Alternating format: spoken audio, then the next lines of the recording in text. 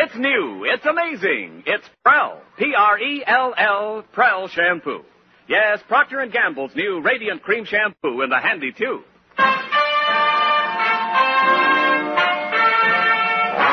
Prell brings you The Life of Riley.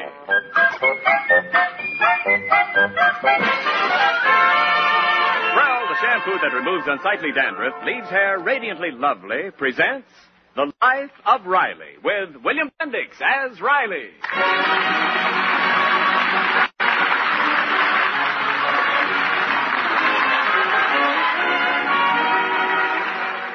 For ten years, Chester A. Riley has worked for the Stevenson Aircraft Corporation in Los Angeles. And now, at long last, he is about to be rewarded for his industry and loyalty. For ten long years, Riley has been waiting for this very day.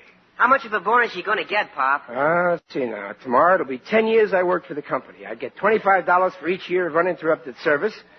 So that's twenty-five times ten equals hundred. Uh, carry four. $250, Pop. Uh, Five and carry three. 25 times 10 is 250, Daddy. Thirty-eight and carry five. For heaven's sake, Riley, 250. Uh, Three carry nine plus thirty-eight minus seven. multiplied by seven. I got it. Two hundred and fifty dollars.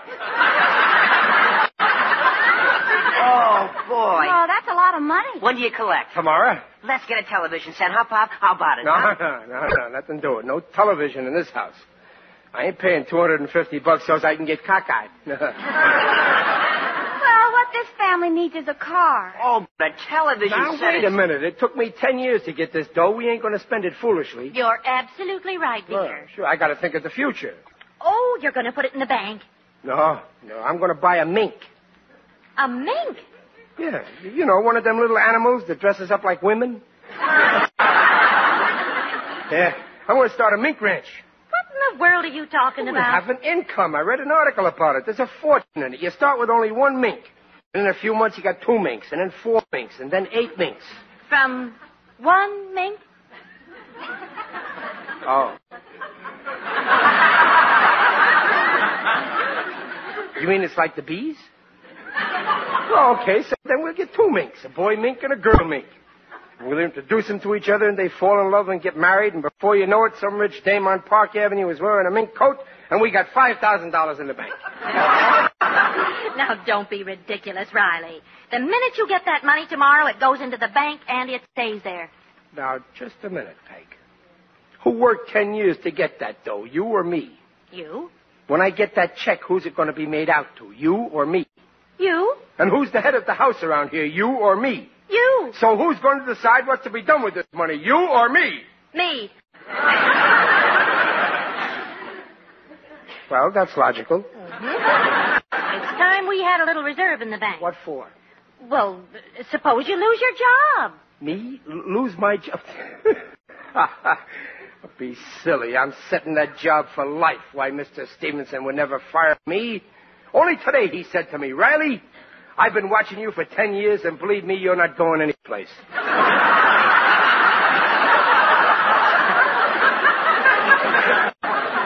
yes, sir. I'm set for life. Well, anything can happen. No, not to me. Why, Stevenson Aircraft couldn't get along without me. Oh, you think so? I know so. You don't understand, Peg. I may not have a classy office with a fancy title, but they couldn't do without me for one minute.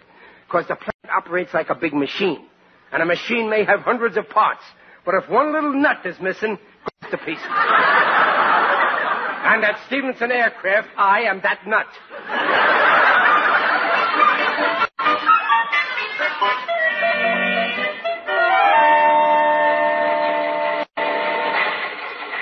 Hi, Gillis. Hey, come on, come on lunch. Oh, Riley, I'm in trouble. Big trouble. Yeah, what's up, Gillis? Riley, the waste has happened. What, Gillis? What? Did your wife leave you? I said the waste, not the best. Well, what happened? I'm going to get fired. Fired. Why? You know that new machine they just got? The one with the magno-heterodyne electrodynamic gravitator with the bicyclonic supercharger? Yeah. I smashed it. How? I tried to open a bottle of Coca-Cola with it. Oh. Gillis, does the boss know about Oh, this? yeah, Stevens is looking for me right now to fire me. I've been avoiding him, but he keeps chasing me all over the plant. Riley, what am I going to do? No, no, no, take it easy, Gillis. But Take he'll fire me, sure. What'll I do? No money in the bank. I still owe for the furniture I bought last year. Now, relax, Gillis. And I already sold the furniture. and that dough's gone, too. Fired. Believe me, it don't pay, to be honest. Now, now, you take it easy, old pal. You won't get fired. Your friend Riley will see to that. You? Yeah. Don't kid me, Riley. What can you do? Well, I could. Well, I'll take the rap for you. I'll say that I done it. But then you'll get fired. Oh, not me. Stevenson would never let me go. You see, this plant operates like a big machine. I know, you're a nut. but I can't let you take the risk. There's no risk. Why, Stevenson and me, we're, we're like buddies. He's my buddy. Gillis, I want to talk to you. Here he is. Now, remember, I done it. No, no, no, Riley. You got a wife and kids, too. I won't let you do it. No, no, no, I won't let you. A guy would have to be the lowest thing on earth to let his best pal... No, no, no, I won't let you. Well, Gillis, so here you are. Riley done it. He smashed the machine. Riley done it. That's right, Mr. Stevenson. I done it, not Gillis. All right, Riley, you're fired. Oh, thanks, boys. You see, Gillis, what I tell you. Don't get, you can't do it, you boy. Fired? No. Boss, Mr. Stevenson, buddy, wait, come back. Be... What a revolting development this is.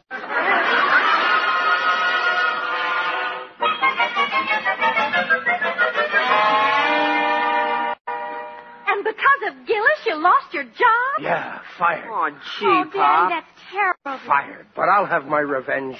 Just watch how that whole plant will crumble. Today I'm fired. In a few days, 3,000 men will be out of work. Oh, but Riley, you didn't do anything. You're going right back and tell Stevenson you didn't do it. No, I ain't no squealer. But Riley... Besides, if he can fire me after ten years, then I don't want to work for him. I fixed him good when I left. you don't know it, but I took along the only key to the washroom.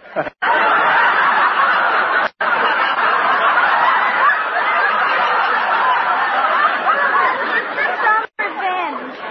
Riley, listen to me. If you admitted smashing that machine, he had a right to fire you. That's right. Take his side. Defend that no good, hard-hearted monster. Daddy, why don't you go back and explain? No, I got my pride. I don't want his job. I'll get another job just like that. Well, I, I, I'm sure you could hold down plenty of jobs, dear, but well, suppose you don't get a break. What'll we live Now, on? don't, don't get panicky, Peg. We'll manage fine. You're, you're forgetting we got that $250 reserve in the bank. What, 250? Well, the bonus that I, that I, I, I, I didn't get it. I didn't get it. I got fired three hours before I became eligible. Give me a knife. I want to kill myself. Riley, control yourself. Oh, what did I do? What did I do? Now, now, don't take it like that, dear. It'll be all right. We'll starve. All I got to my name is a key to the washroom.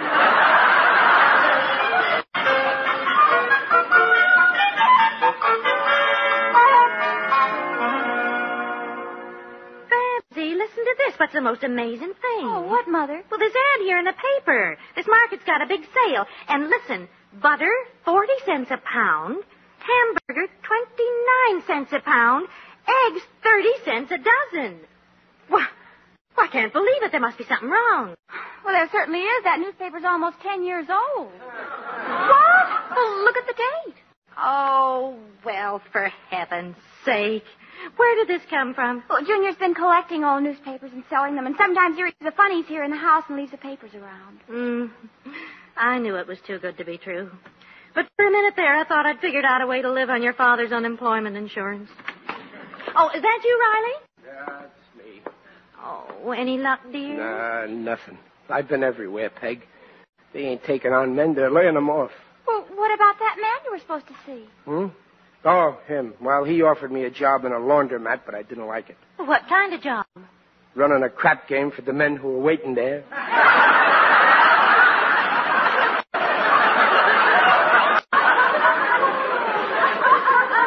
Heck, what'll I do? I, I don't collect unemployment insurance till the end of the week. I, I... Hi, everybody. Hey, guess what? I made three bucks today helping out at the drugstore. Oh, that's wonderful, Junior. Did you hear that, Riley? Yeah, that's very good, Junior. Uh, Peg, where's my cigars? I left the box on the piano last night. Oh, the box was empty, dear. I threw it out. Oh. Babs, you got a cigar? I don't smoke, Daddy. Yeah, I forgot. You sure there's no cigars in the house? Well, if you're short, Pop, I'll let you have a dime for a few cigars. Here. Just a minute. Just what do you think you're doing? Well, well, you're broke, aren't you? I wanted You to... got your nerve. What do you take me for anyway? A bum in the park? Well, gee, Pop, I didn't... I haven't to- sunk so low that I have to depend on my kids for cigar money. Now, Riley, Junior didn't mean anything. I ain't legit, you know. I don't take handouts from nobody. I don't care if I never smoke a cigar again. Well, I I didn't want to hurt your feelings. Leave the room, Junior. And don't come back here till you learn, how to behave to your father. Go on, take a long walk. And if you walk past the drugstore, buy me a cigar.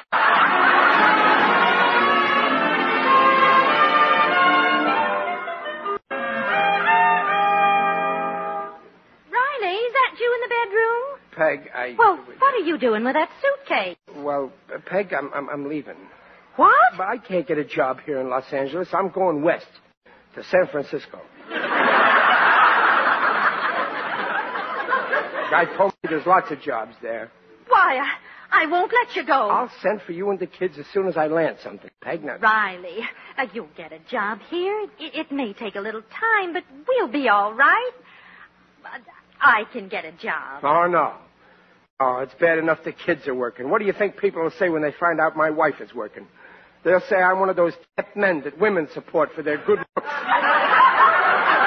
They'll never say that about you. Riley, listen, you're you're being very foolish about this. You can get your old job back if you'll just go to Mr. No, Stevenson and. I told you before I'll never go back to him. I've got my pride. But you haven't even got the money to go to San Francisco. Oh, yes, I have. I borrowed $40 from Gillis. And he ain't even charging me interest. Oh, please, dear, I'll phone your boss. No, this is final. I have made up my head. I've got to go. My train leaves in an hour. Hey, what's up? Where are you going, Daddy? Your father's going to San Francisco to look for work. San Francisco. Well, Pop, but what are you going there Well, I haven't got time to explain. Your mother will tell you everything. I, I got to go now. Well, we'll go to the station with you, darling. No, I don't like sad partings. It'll be better if we say goodbye here. Well, uh, g- goodbye, Junior. Goodbye, Pop. Look after your mother and your sister. You're a big boy now. You've got responsibilities. You're taking my place as the head of the family. So do everything your mother tells you.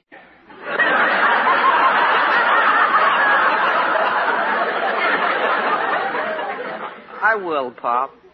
Goodbye, Babsy. Goodbye, Daddy. Study good and, and don't stay out late. I don't have to tell you to watch out with the boys. You're a big girl now. I trust you 100%. Junior, write me every week what boys she goes out with. well, Peg, take care of yourself. Don't work too hard. I'll, I'll write you every day, and I'll send for you soon. Won't be long. All right. Now, now, now, now, Peg, no tears. You know how I can't stand people who cry. Well, goodbye. Goodbye, Pop. Well, why are you all crying? I'm only going to San Francisco. There's nothing to cry about. You should be happy. I'm going away to make a new life for us. I, I feel like singing. San Francisco, open your golden gate. You let no stranger wait outside your door. San Francisco, open your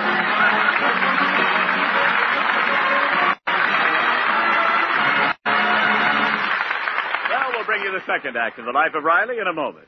And now we give you the glamour girl of 49.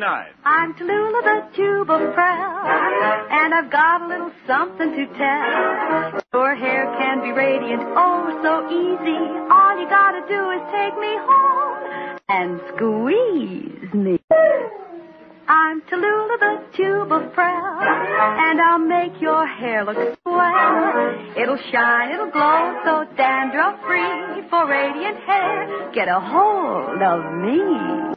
Tallulah, the tube of Prell shampoo. Yes, folks, for glamorous, lovely hair, it's Prell, Procter & Gamble's Radiant Cream Shampoo. Because Prell leaves hair more radiant than any soap shampoo. It can't leave a dulling soap film. And Prell removes embarrassing dandruff in as little as three minutes.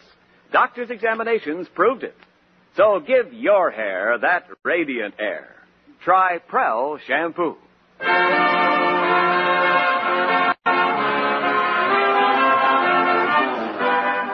Before rejoining the Rileys, here's some news for our friends in Texas. The new Life of Riley motion picture opens in 100 Texas theaters starting tomorrow. And the star of the movie, Riley himself, William Bendix, along with other members of the cast, will make personal appearances in five theaters. Tomorrow they will be in Fort Worth, Monday in Austin, Tuesday in Houston, Wednesday in San Antonio, and Thursday in Dallas. Yes, sir, this week the great state of Texas is living the life of Riley.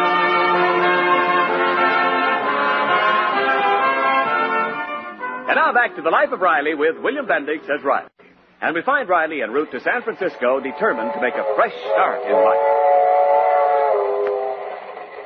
Uh, excuse me, lady. Is this seat taken? Why, no, it isn't. It's okay if I sit here? Oh, go right ahead. Oh, say, that's a, that's a cute little baby you got there. Babies are crazy about me. Kitchy goo, kitchy, kitchy goo. Oh, oh, dear, he's hungry. Would you mind holding him while I see if I can get him some warm milk from the dining car? Hold it. Oh, oh, sure. Just, just give him to me. Oh, thanks. There. Now, you be a good little baby, Lambikins. I won't be long. No, no, no, there, there, there. No, don't cry. I know just how you feel. I guess you're leaving home too, but don't you cry. You, you be brave like me. It's all for the best. There comes a time in everybody's life when they gotta make a change. And I think the time is now. No, no, no, don't be a crybaby. You ain't the only one who's got trouble. I feel like crying too, but I don't let myself. Now, let, us try and forget our troubles. We won't think about them. We'll, we'll look out the window, huh? You like that? And look, look at all those pretty billboards. Look at that pretty lady. She's a movie actress, Jeanne Crain. You, you see what it says? Now playing Apartment for Peggy.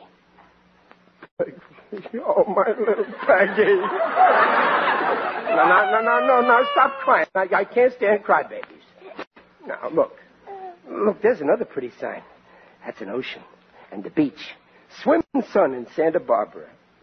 Barbara. My little Barbara. My baby. now stop. If you can't control yourself, I won't let you look out the window. I'll give you one more chance. Look. Look, there's a funny sign. You see the man with the bare feet? Oh, look how big they are. That's funny. that, that one says, feet burn, use Absorbine Junior. Junior. Oh, Junior, my little Junior. I can't stand it. I want to go home to my family. Glendale, next stop, Glendale. Glendale, I'm getting off here. I can take a streetcar home. Ah! Oh, shut up. I got my own troubles.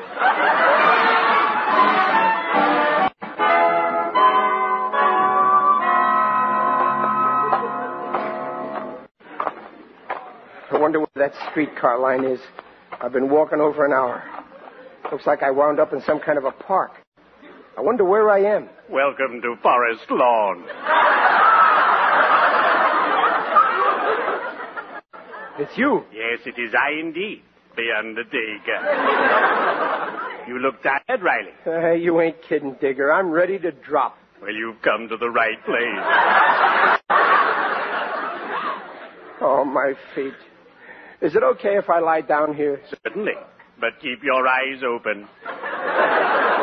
Otherwise, you'll miss the beautiful scenery. What are you doing here, Digger? Oh, this is where we hold the weekly meeting of the E UEPPC. UEPPC? Yes, the Undertakers, Embalmers, and Pallbearers Pyramid Club. it's a fascinating game. Every Undertaker brings two people.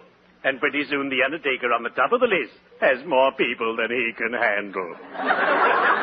But what are you doing here, Riley? I thought you were bound for San Francisco. Well, I was, but I got off the train. I just couldn't stand being away from the family. Oh, yes, I'm the same way. I left my family only once. That was last year when I attended the annual Mortician's Exposition in Tombstone, Arizona. Believe me, there's a dead town. And I was the lonesomest stiff in it. I'm kind of ashamed to face my family again, Digger. Nonsense. You've made a wise decision. Los Angeles is your town. Your home. Yeah, you're, you're right, Digger. It's the greatest town in the world. They can have all of San Francisco. All I want is a little plot of ground right here. And someday you'll get it. Real estate prices are dropping every day. Now you must hurry back to your miserable family. I'm sure they miss you. I'm leaving now. I'll drive you home. Oh, well, that's swell of you, Digger. You know, this is the first time I've ever been here in Forest Lawn. And this will be the first time I ever drove anyone out. well, come along. We'd better be shoveling off.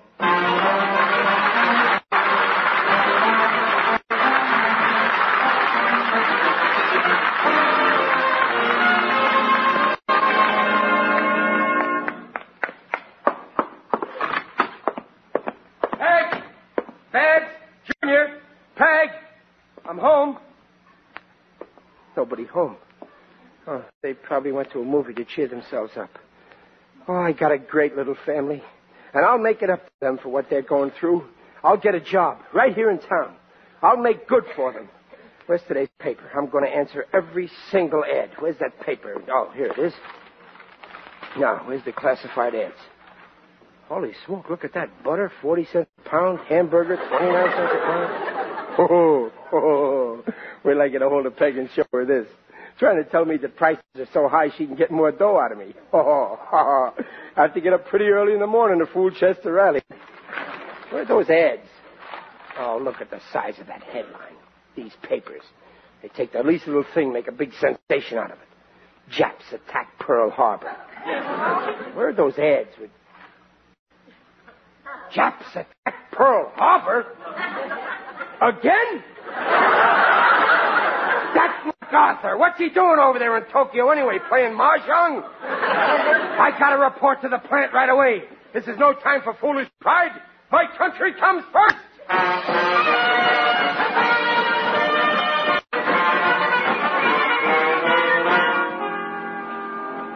You say he went to San Francisco, Mrs. Riley? Oh, yes, Mr. Stevenson, this afternoon, but I I thought if you wrote to him, he'd come back. After all, he didn't really break that machine. Well, don't worry, Mrs. Riley. I'll get him back here. And, and please, don't tell him that I came to see you. Mr. Stevenson. Riley, what are you doing here? I got off the train and lucky I did. Stevenson, I'm willing to take my job back. This is no time for personal pride. Duty comes first. And at a time like this, we vote. Put out that light. What? Put it out, I say. Don't you civilians ever learn nothing? He's drunk. I'll overlook that crack, Stevenson, because this thing is bigger than both of us. We fought it through together once and we can do it again. And like before, I'm taking my position in the front lines. The man behind the man behind the gun. Riley! We're all in this together now. We gotta work. Save fat. Save gas. Is this trip necessary? Lucky Strike Green has gone to war. What are you raving about? Don't you know there's a war going on? Isolationists? What war? Japan has done it again. Wait a minute. We're at war with Japan? Don't you read the papers? Of course we're at war. Since when? Since then, here, look, look. December the 7th, 1941. They not only picked the same date, they picked the same year. Darn clever, those Japanese.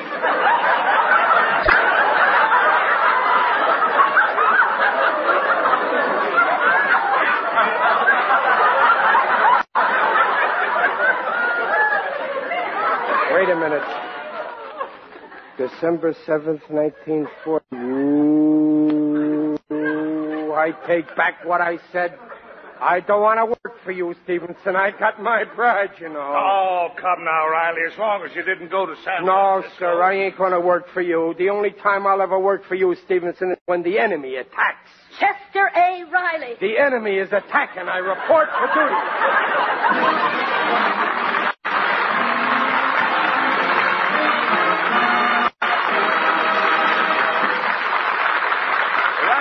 return in just a moment. When you want your hair to look its radiant best, does dulling film and unsightly dandruff spoil its appearance?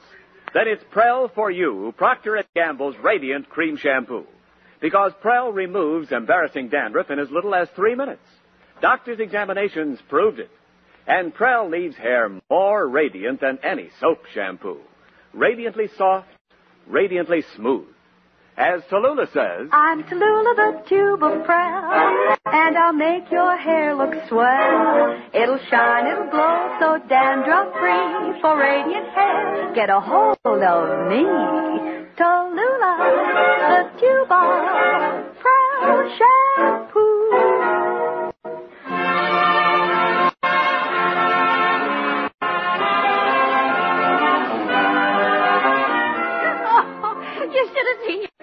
Children. Save fat, save gas. oh, Daddy, you're a scream. All right, all right. That's enough. Cut it out. Anybody can make a mistake. You got no right laughing at me. Have a little respect. I got my job back, you know. Thanks to me. No, I ain't a bum anymore. I got dough in my pocket. Oh, that's right. You got paid today. You bet I did. I got it right here. Ten, fifteen, twenty, forty, fifty, fifty-five, fifty-nine, ten. oh, it's good to feel money in your hands again. Well, you hand over $35 right away. It goes toward the rent. Oh, okay, here you are. That leaves me twenty-four dollars and ten cents. Oh, Daddy, I just got to have eight dollars for school books. I've got to buy them or else. Okay, okay, okay. Here you are, eight dollars. Still leaves sixteen dollars and ten cents. Well, I need $10 to pay Green Spreckles grocery. They gave us credit and I... Okay, okay, here. And we got our final notice from the phone company, $6, and we've just got to pay. Okay, okay, here. Well, at least I got ten cents left. Well, oh, Pop, you owe me that for the three cigars I bought you. Hallelujah, I'm a bum again.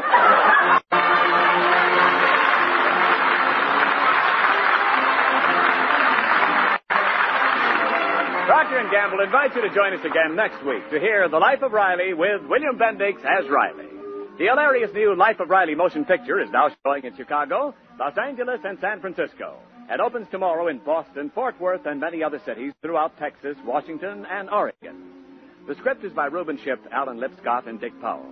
Mrs. Riley is Paula Winslow. Digger Odell is John Brown. The Life of Riley is produced by Irving Brecher.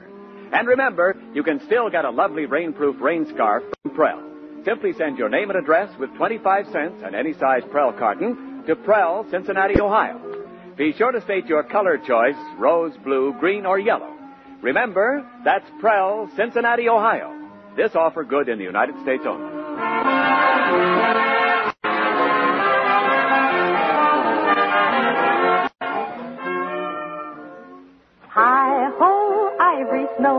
Wash your dishes with ivory snow. It's safe for hands and speedy too. Lovely hands mean a lovely you. Hi ho, safe in snow. Wash your dishes in ivory snow. Let your hands tell you why Ivory Snow is so wonderful for dishwashing. Wash your dishes with Ivory Snow as millions do. When you see how Ivory Snow pampers your hands, you'll know it's ideal. It's ivory mild, ivory pure. And remember, it's granulated for speed. No soap made is faster for dishes or kinder to hands than Ivory Snow. The only soap, both ivory mild and granulated for efficiency. Yes, for speedier dishwashing, for snow white hands, try wonderful Ivory Snow. And this is Ken Niles reminding you to listen again next Friday when Procter & Gamble bring you a full hour of entertainment. First, Red Skelton, and then The Life of Riley. Good night. This is NBC, the national broadcasting company.